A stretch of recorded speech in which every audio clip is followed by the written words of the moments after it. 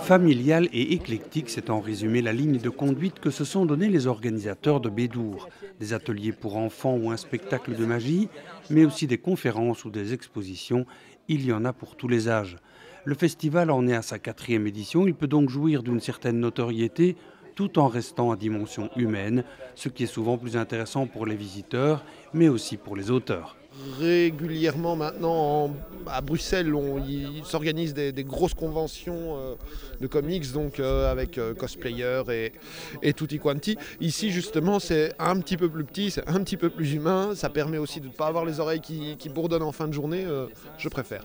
J'apprécie tout particulièrement parce que justement plus c'est petit, plus on peut parler avec les artistes, c'est beaucoup plus convivial, on peut même discuter avec les personnes qui attendent que lors d'une grande convention, en général, j'ai remarqué que bon, on fait la file, on attend, on attend, et la personne qui est juste en face, bah, il ne fait que dessiner, dessiner, dessiner, et il en a un petit peu marre, ce que je peux comprendre aussi. On voit beaucoup de familles, beaucoup d'enfants, euh, c'est l'occasion de voir un public un petit peu euh, différent, un petit peu euh, provincial aussi, donc non, non, moi j'aime beaucoup.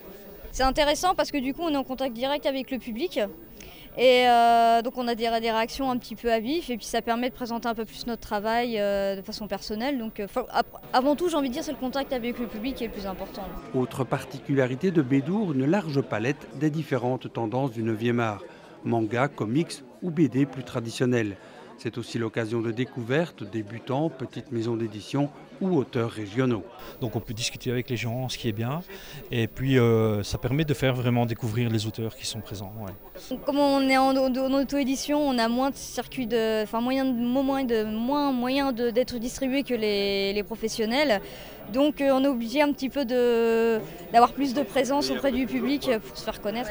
Là, nous, notre truc, euh, ça fait un an qu'on le balade un peu partout. D'ailleurs, je le fais exprès de montrer à la caméra, comme ça tout le monde le verra. Ça s'appelle Osville, c'est pas disponible partout malheureusement, et, le seul moyen de, l'avoir, c'est à travers euh, les, festivals. On est aussi pas mal basé aussi sur la découverte des gens qui sont pas mis en avant euh, par rapport aux maisons d'édition parce que bon on met toujours les grosses sorties nous on essaie d'aller piocher un petit peu à l'arrière en se disant ça c'est même meilleur et à ce moment là on les invite ici